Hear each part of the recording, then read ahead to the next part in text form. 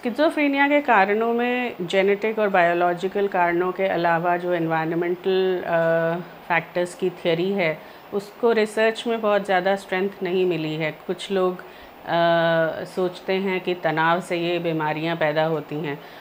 Psychotic disorders खासकर schizophrenia तनाव की वजह से नहीं होता है पर तनाव इन का इन बीमारियों के होने का एक ट्रिगर ज़रूर हो सकता है। मतलब कि stress is not actually a cause of these problems but can act as a trigger so sometimes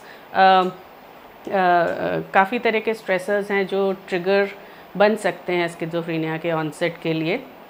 sleep disturbance exam stress कोई मेजर इंसिडेंट या accident movement from one place to another and उस movement के दौरान adjustment ना हो पाना।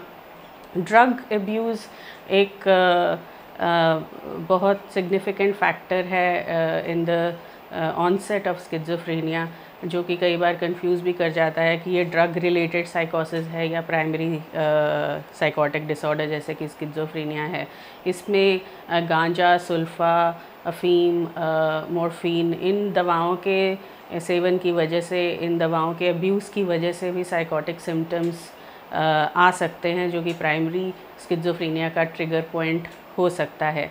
इसीलिए जो डायग्नोसिस किया जाता है साइकोटिक डिसऑर्डर्स में, उसमें लार्जली क्लिनिकल सिम्टम्स और उनकी ड्यूरेशन को इम्पोर्टेंस दी जाती है क्योंकि इसको डायग्नोस करने के लिए कोई specific objective major lab major या स्कैंस नहीं होते हैं।